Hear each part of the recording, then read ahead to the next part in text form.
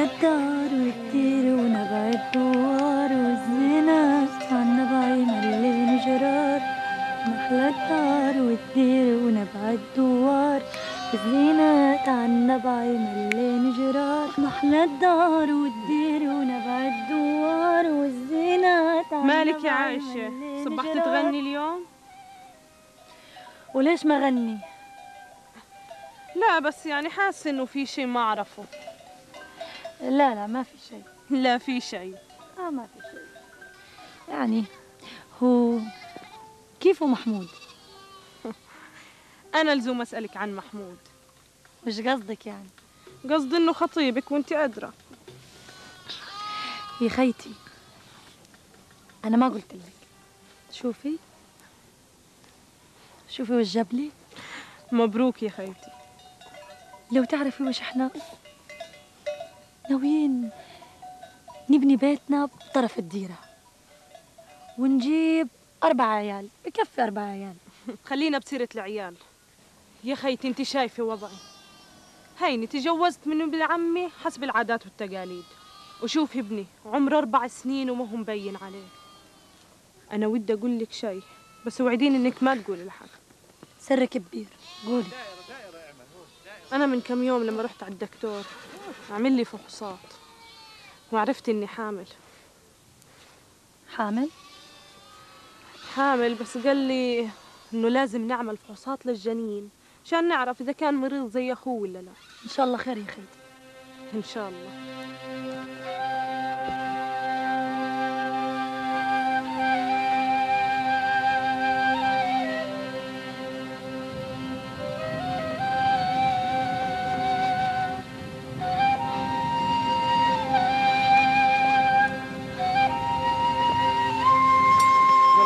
أركض.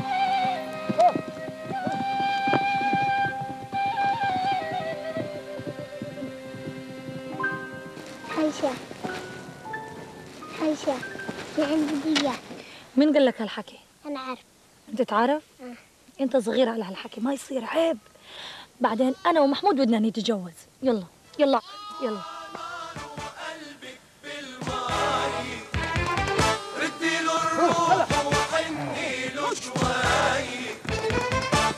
ولأنه شي نظرة أو كلمة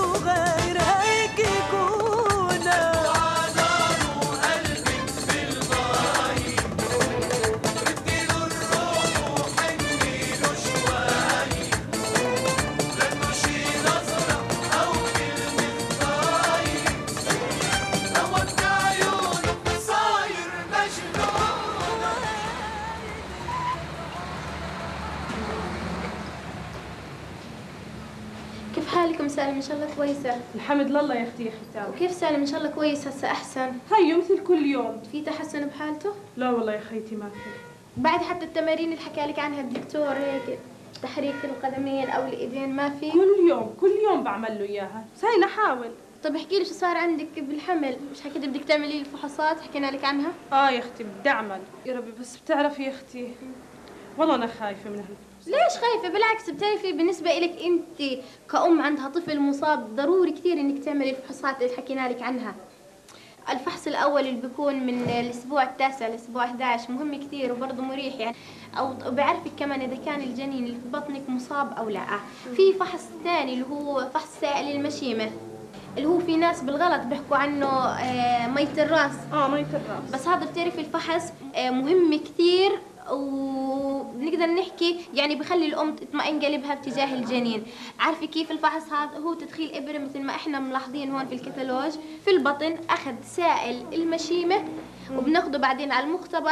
آه، وبعدين وطبعا على فكرة هذا الفحص آه، ببي آه، في آه، حسب إحصائية عالمية بينت إنه من كل 200 أم حامل في ممكن أم حامل واحدة بس آه، إجهاض. يا خيتي يعني هاي الفحص مش خطر.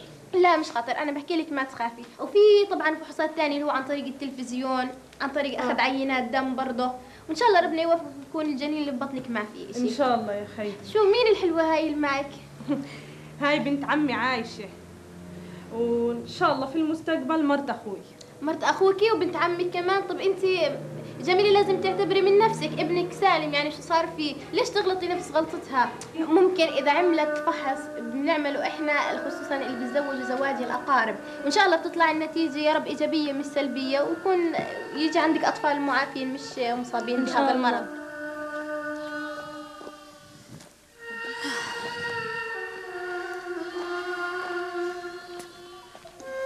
خيتي. شو رأيك في اللي قالته الممرضة اليوم؟ يا خيتي أنا مقتنعة بكل اللي قالته الممرضة. لكن كيف بدنا نقنع أهلي؟ شلون كيف؟ لزوم نفكر. لا عاد اسمعي. إحنا نقنع أبو سالم ونقنع محمود ونقنع أمك يا خيتي هات ريحك عن عن العيل هاتي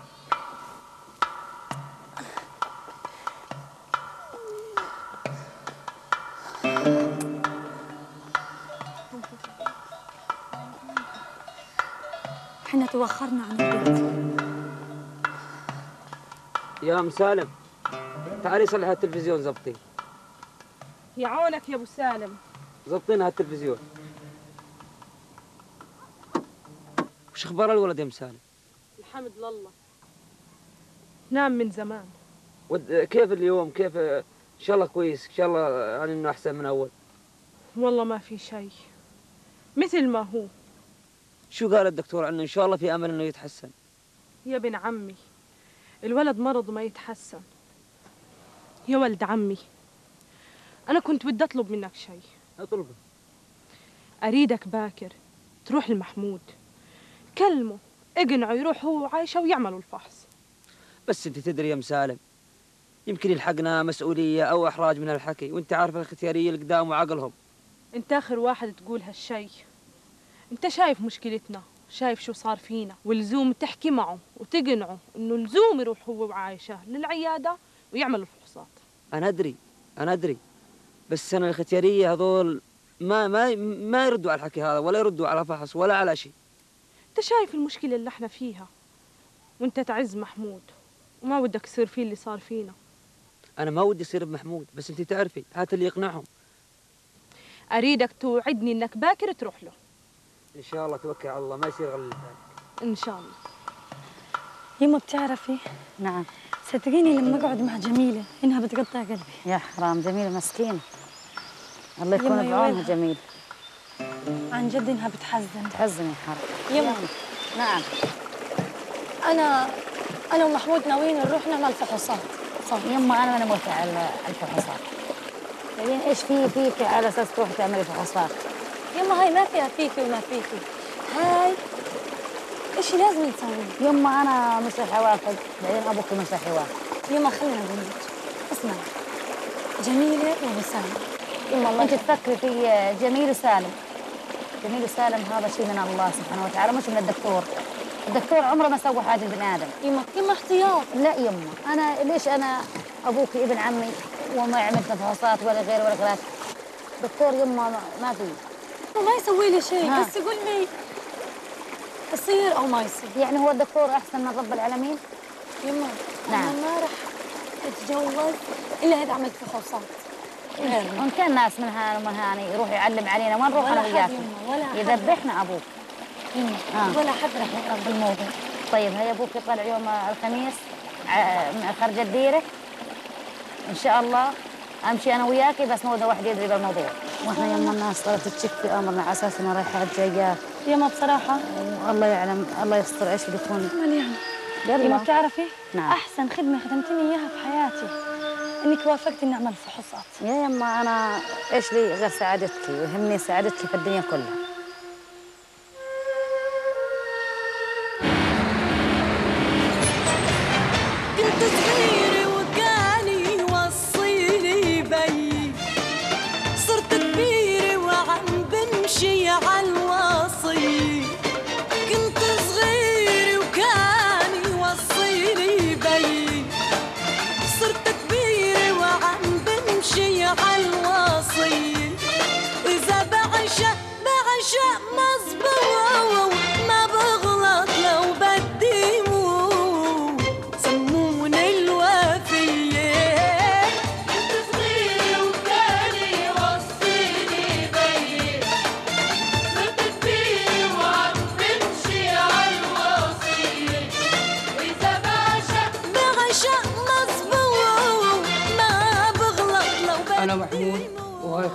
عائشة وهاي أمها وهذا أخوها إبراهيم. أهلا وسهلا.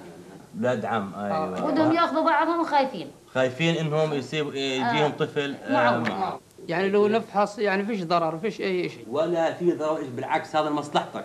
الأفضل إنه ما يجيك طفل معاق. شفت علي كيف؟ وبتعرف الطفل المعاق راح يغلبك على الأطباء وعلى المراكز العلاجية وعلى العلاج الطبيعي و... ودائما مريض ودائما يعني بكل دخلك راح يكون الأطباء. إذا كان واحد مصاب بالمرض والثاني مش مصاب كيف نتيجته يعني؟ آه ما هو بتعرف الأمراض الوراثية تورث عن طريق الجينات الجينات الوراثية اللي هي الجينات الوراثية اللي بتكون موجودة على الكروموزومات فإذا أنت الأب كنت حامل الجيني المسؤول عن المرض والأم حاملة الجيني المسؤولة عن المرض فهنا احتمال إنه كل حمل كل حمل إنه يأتي 25% طفل معاق. فهمت علي كيف؟ فالأفضل إنه من حيث الأقارب خاصة أنت بنت عمك إنكم تساووا فحص. فالوقاية خير من قنطرة علاج مزبوط يا؟ آه مزبوط أي والله مزبوط مثل هاي إحنا يعني بدو خا... نخاف من الشغلات هاي. يعني إحنا جينا. جينا لك يا دكتور وإحنا خايفين. إذا خايفين إذا معناته خلاص بتساوي الفحص هذا وبتعرف هاي الأمراض الوراثية يعني مسؤول عنها مش بس الأم. الأم والأب هم اثنين وبأكد انهم هم اثنين مسؤولين عن الأمراض الوراثية. ليس الأم أو المرأة الوحيدة اللي دخلت بالمرض اثنين مسؤولين. يعني أنت وياها لازم تساوي الفحص. على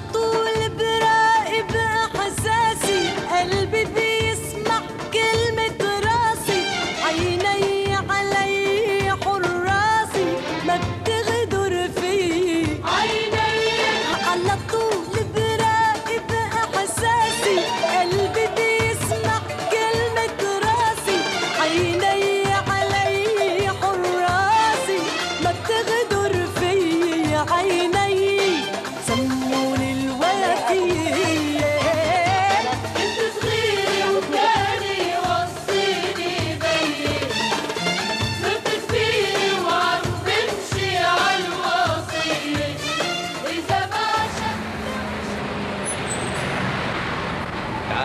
للأسف وانتوا اثنين طلعتوا حاملين للجيني الوراثية المسبب المرض. أنتوا حاملين للمرض وغير مصابين.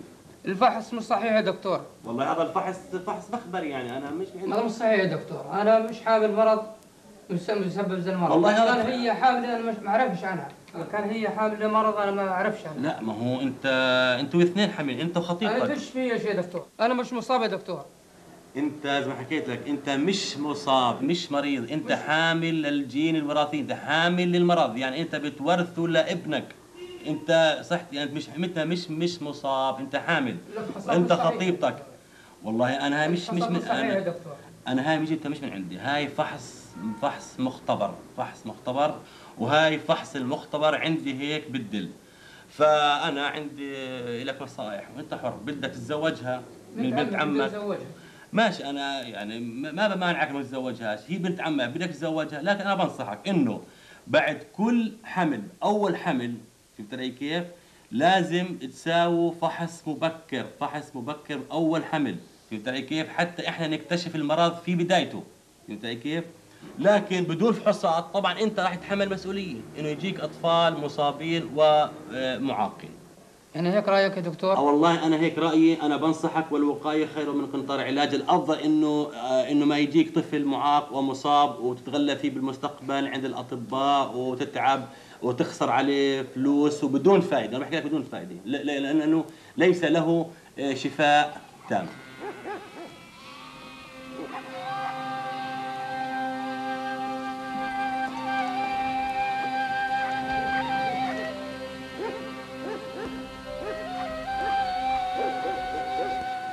مشيت اليوم إبراهيم؟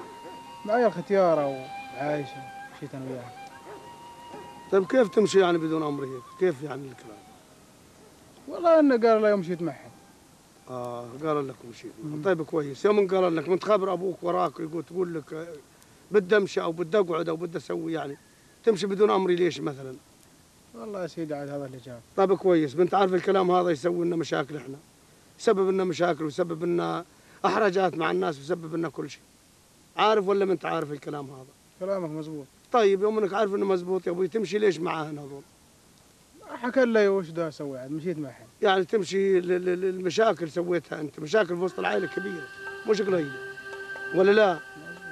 على كل حال أنت لك دبارة عندي وبرضه أمك لها دبارة عندي أنا فرجيكم كيف مو هسه في كلام ثاني.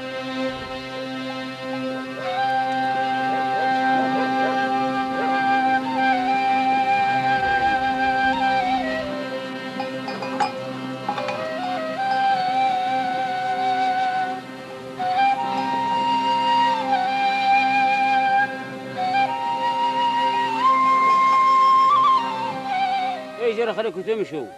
والله رحنا فحصنا الناس اللي تفحص ها هذا كله منمها لم نمها ولا شيء هذا من الله.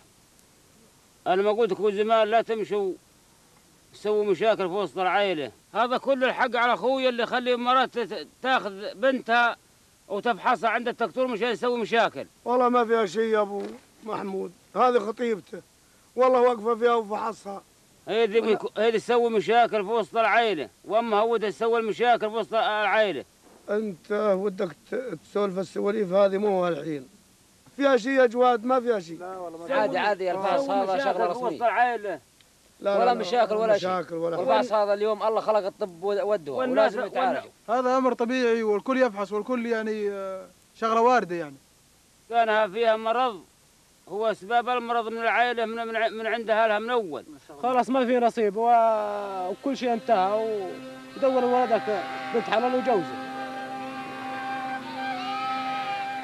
زيد تعال تعال تعال بدي أسألك.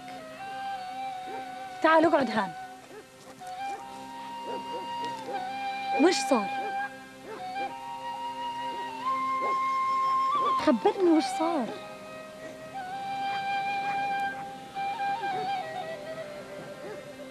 ما بدك تحكي؟ خبرني وش قالوا؟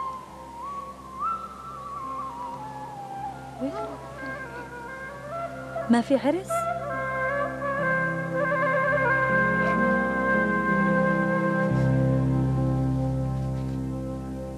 حمل يا قلبي فراق.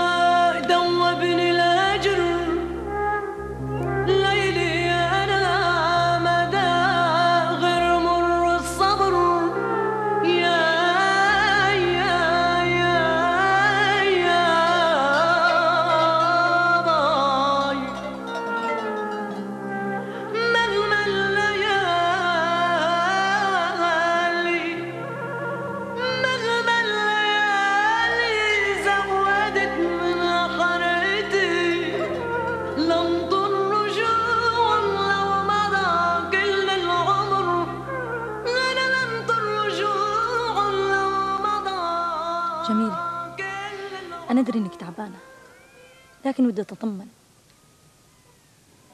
أنت توكدتي إنه حلال إنك نزلتي؟ توكدت يا عايشة. سألت كثير دكاترة. وسألت رجال الدين. العيل كان مريض. نفس مرض أخوه كان هذا هو الحل اللي لازم أقوم فيه. بسيطة يا خيتي. الله يعينك. خيتي أنت ما أنت عارفة شو اللي عانيه. ما تعرفين صعوبة إنك تربي عيل عيان لازم ترافقينه كل لحظة. لازم انت اللي تغيري له وتطعميه وتعملي له كل شيء أنا ارتحت يا عايشة أنا ارتحت. الحمد لله يا خيتي الحمد لله. وأنت شلونك؟ حمد لله. حالي على ما هو. أنا ما هو محزنني لأمي أمي المسكينة. عمي يقول